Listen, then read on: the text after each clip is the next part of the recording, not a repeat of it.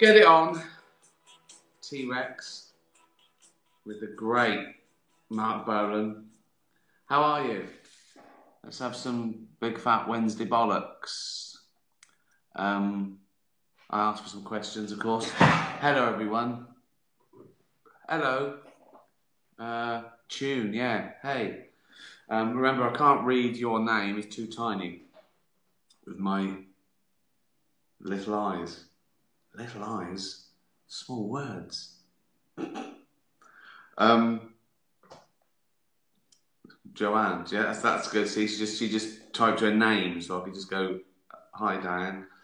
Um, sing, Ricky, sing. Is that like win, Rocky, win, or run, Forrest, run? um, groovy music. That's exactly what it is. That is exactly what it is. Groovy music, bit of glam, bit of grit. Um, yes, uh, right. I did ask for some questions. Um, oh no, I don't know who that's from. Hold on. Well, there's there's. Uh, oh, it could be. Who's missing? Could that be? Could that be Gunner? Um, who's a dog? Uh, if emotions are the product of biochemical reactions, then in the future we will be theoretically able to control them. Well, yeah. If we could control emotions through technology, should we? Well, we do really, don't we? If it's your own and it's up to you and you don't want to feel a certain way, I mean, we do have things like that, don't we? Sort of, sort of antidepressants and and some and some. I'm not a doctor, but I think some mental illnesses are well, everything's physical, but you know what I mean. Some of them are, are, are chemical imbalances, aren't they? I'm guessing here. I don't know. I don't. But yeah, I mean, yeah. I mean, it's not. A, it's not always a bad thing, isn't it? Um, it depends, doesn't it? If you if you, I don't know why you take them to never feel happy again. That'd be a bit weird. Um, so it depends. There's good and bad. There's good and bad science. Good science, oh, chemotherapy, good science, well done. Bad science, Frankenstein. So it depends, doesn't it? I mean, that was that was quite a good question, but the only reason I didn't take it seriously is is it comes to the point. It's a dog, right? Asking me.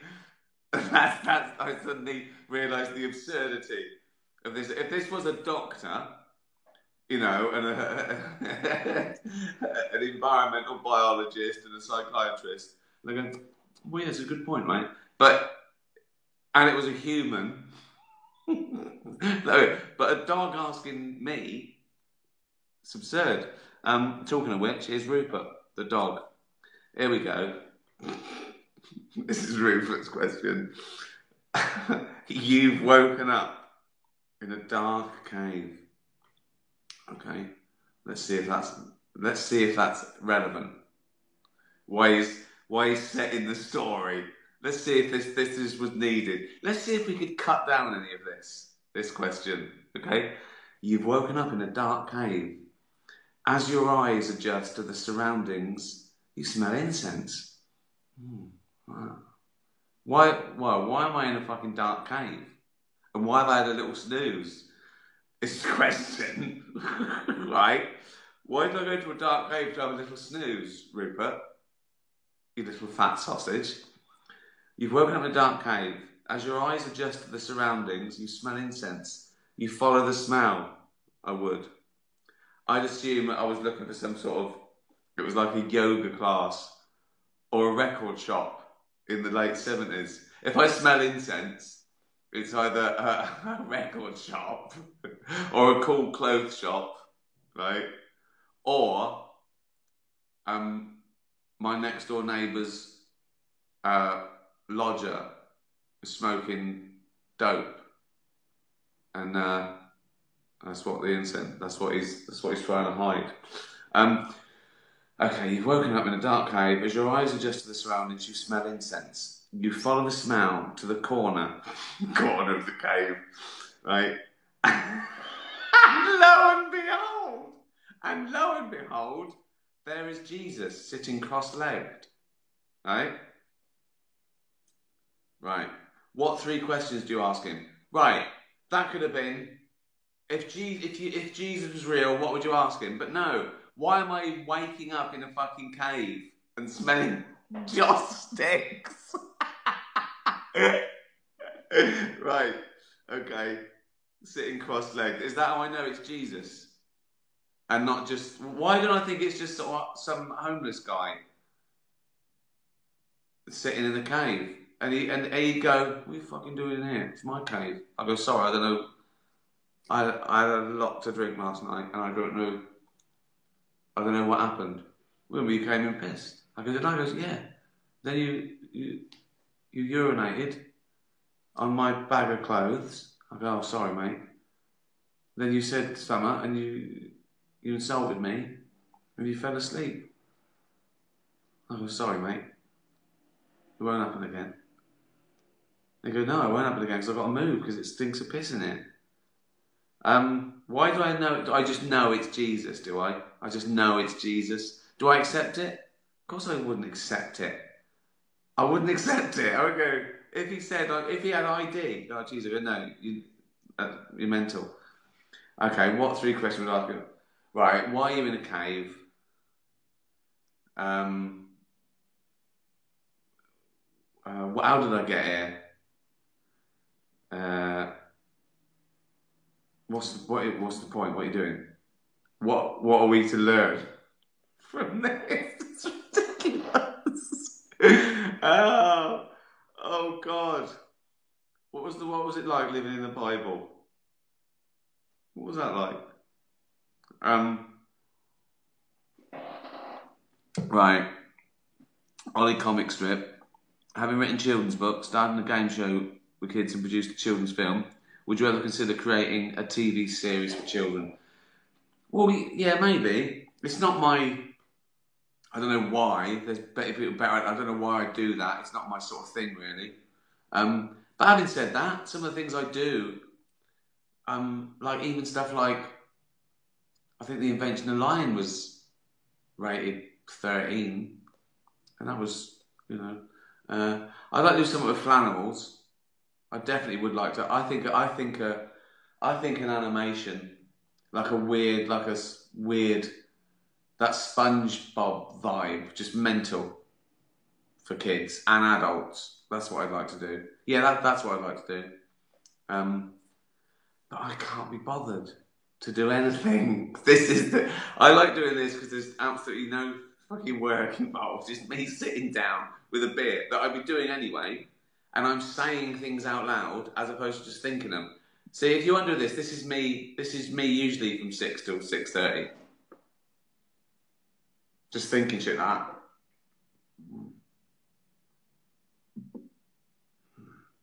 And here, I just say it out loud.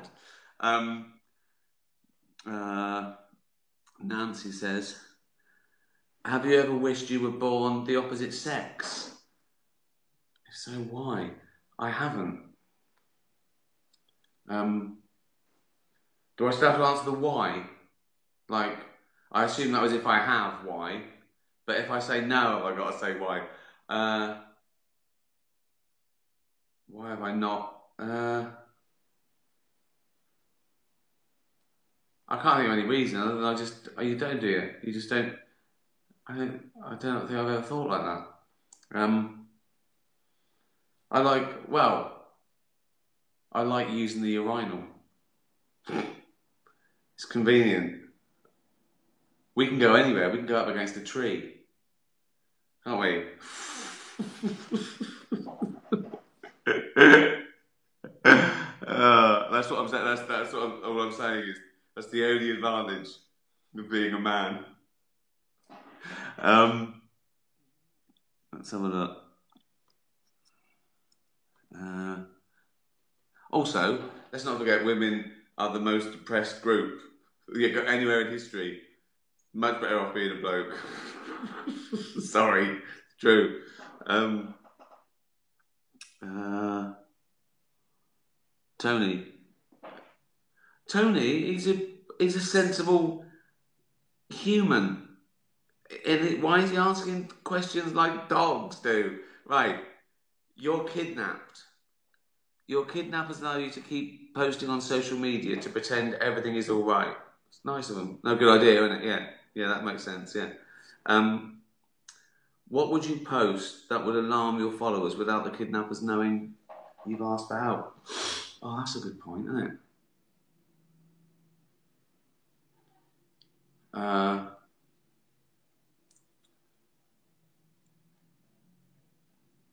I'd say something like, um, "Hi, hi everyone. 18 years sober." Like, fuck, what? Or, um, ugh, I hate dogs. Uh, or, oh, I just just a normal tweet. Have a great day, everyone, and God bless. And they go, what? And they'd, you wouldn't get, you wouldn't know, would you? You wouldn't do anything. If I if I if I arranged a code now, right? If I'm ever kidnapped, they'd have to be fucking big. There'd be a lot of them to lift me because I wouldn't walk. They go, what? I go, no. And I just go, I just lay down on the floor like that. I just flop on the floor, face down like a toddler. And they go, oh, for fuck's sake, we can't. They'd be pushing and pulling, right? Being little, leaving little trails of cheese, and I'd be tempted, right? Right? Then they try and drag me, but I'd take my shirt off, right? and my belly would create a suction on the wooden floor. It's going, they, fuck, they'd be putting down olive oil and trying to push me up yeah, I just sign off. If ever, if ever I sign off, right, with God bless, I've been kidnapped. All right, call the police. Um, that people go, what do you mean? A lot of people say God bless. I go, no, but he's been kidnapped. So what? What would they do? Oh, well, they could trace my phone, couldn't they? If, if you know I was kidnapped, or if I watched too many police dramas, I think you could, couldn't you? You get out of Vodafone or O2, whatever, and I go, we think he's been kidnapped because he's saying stupid things, and they go, and. um, oh God, there's another one. Uh, Stonewall Rockhaven, if that is his real name. Uh, you are standing before St. Peter at the pearly gates, and he says, You have one more life on earth, but as a dog, fine. What breed would you choose to be? Uh, well, first thing I thought of was like a bulldog because I'd be used to the sort of breathing and the length of legs. I'd be used to what it was like, sort of walking uphill. Um, what would I be? I don't know. What's the happy? I mean, I just don't think you can go wrong with like being a, a golden retriever. Nice dog, nice owner. You know what I mean? It would be a nice. It feels like that would be a good life. If I was a, everyone goes, ah, everyone they're nice. People are nice around them. No one's scared of a golden retriever. If a golden retriever comes running towards you, you don't go, oh fuck. You know what I mean? You know it's you know it's going to come up and sort of like sit on your foot or lick your leg or something. So yeah, can't go wrong with a Labrador golden retriever. Um, Louisa Core says, My down to earth question is Are you painting more in lockdown? I'm not. If so, what do you paint? And can we see any artworks? No. It's so funny that before lockdown, I was thinking I'll get some, I'll get some canvases, and I just didn't bother, and then it happened. But um, I haven't been painting. No, uh, I don't know why. I've been um, I've been filling my days. I've been. Uh, I've, I've, been doing more working out and sport. I've been writing as much. I've been doing more Zooms. Um, but no, I haven't been painting. What, I, what do I paint? I, I, I almost exclusively paint sort of abstract stuff now. I mean, that hides the fact that I haven't got enough skill. And it's, uh, I like it more as well. I just like, I do like abstract. If, in fact, if there's a great painting, but it's got a, like a person in it or a face, I go, oh, get that out. I don't want that on the wall. I don't even know who the fuck's that. You know what I mean? I want swirling sort of. I mean Turner, it was figurative, but he managed to. His colours were great. Turner colours, abstract. I like I like some portrait stuff. Rembrandt, I like Rembrandt clicked. It, it, all his backgrounds were black, and it was in the. It was great. It was again. It was drama. It wasn't the sort of people going like that, painting themselves like that. Like that. So yeah, um, but yeah, I can only do real abstracts. Scapes, I like. I like scapes, skies and buildings and things like that. Uh, cheers from Montreal. Um, uh, well, that's about it. I'm like, oh no, Joey. I got Joey to do, haven't I? Um, Joey again starts off the question. I was, The question starts off with a premise, a fact, right? When you die, someone's going to resurrect you. In your new life. no, they're not, Joey. They're not. They're not. Because that's mental. Um, when you die, someone's going to resurrect you. I'd be fucking furious. I'd be absolutely furious. But like, all right, what, what are we doing? You're alive. You fucking idiot. right? When you die, someone's going to resurrect you. Um, in your new life, you must live the life of a character from any of your shows. Whose do you choose? Oh, is it like a new like? Oh, okay. So it's not me coming back still shitting myself and in pain the way I died at 83 in a bath chair, right? It's I'm someone else. I live a like I go. Uh, who has the most fun? Derek always springs to mind. I think. I think Derek, yeah. Is it, is it one of my characters that I played or anyone's? Um, I think. I still think it's Derek. I think I'd, I'd be Derek. Can't go wrong. Um, Claire says, if Room 101 was real and you could actually get rid of three things from life that irritate you, what would those three? Um, seriously, three is not enough. If I started listing things that I'm assuming these aren't the big serious things, right? You wouldn't say fascism, famine, and cancer. They irritate me, right? I assume you mean not big, like like foibles and habits and like people sniffing, people sniffing. Yeah, I assume you mean those little trivial things that drive me fucking mental. Um, yeah, yeah, you can't have general general stupidity. Just uh, what would I ban? Um, so if it's not the big things, uh, oh, people who do that thing on the street as well, fucking dustman's blow. Still, I mean, who does that? I wanna. I go. I always, if I see someone like just jogging, right, and they do a dustman's blow, I always go, "Fuck me!" Like, hope they hear it so I've seen someone see say like, fucking hell.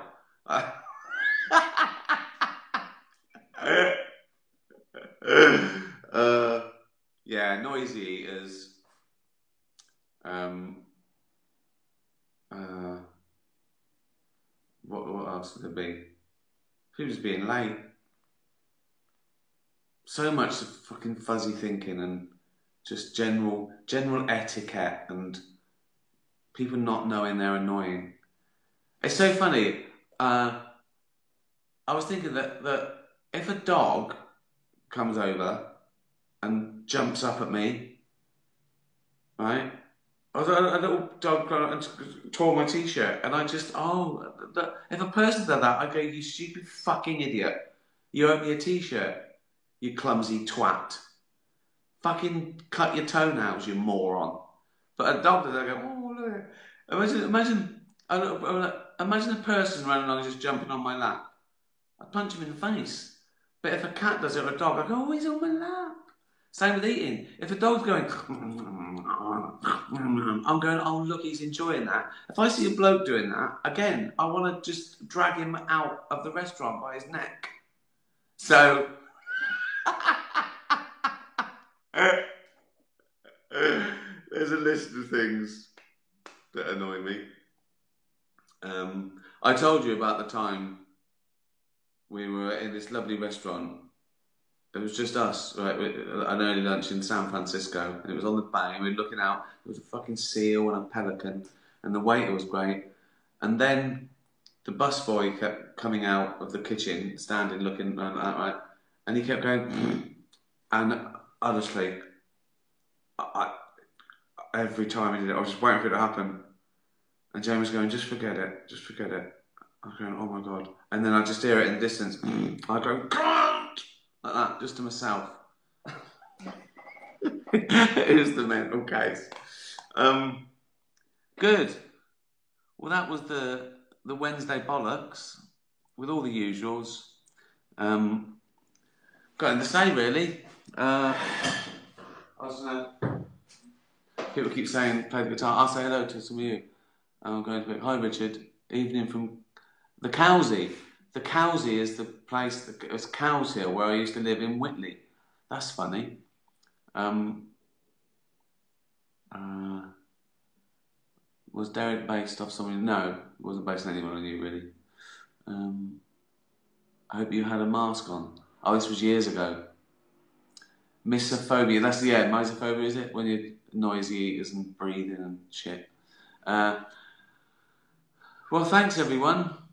Um, oh yeah, people keep saying play a bit of Brent song. I don't know why. You can just download them. What do you want me doing it for? It's not as good as a recording, is it? Or is it just me? Is it like it's live? Is that fun? Um, sold my shack in Memphis, bought me a Chevrolet six string in the back and a bottle of Jack. And I headed down to Mexico way, singing ooh la la la, ooh la la la la lay. Ooh la la la la la la la. It's a beautiful day. Oh, it's a beautiful day. Yeah, it's a beautiful. There you go. You can buy that on iTunes. Get the album. This is free. Um, please play us a song. I just did. Oh, am I behind? Uh, okay, well, thank you very much. Let's do this again. When are we doing it again? Sunday, aren't we? Ricky's Sunday sermon. Um, thanks for tuning in. Uh, retweet this. That's what you do. Retweet this. Buy a Brent song, retweet this. That's all I ask. That's all I ask. I don't even care if you do that, but it'd be nice, wouldn't it?